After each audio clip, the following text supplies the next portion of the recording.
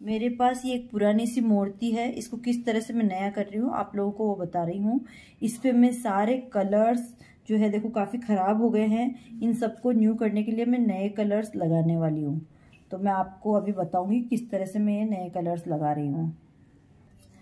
तो अभी सबसे पहले मैं इसका जितना भी स्किन पार्ट है वो कर रही हूँ।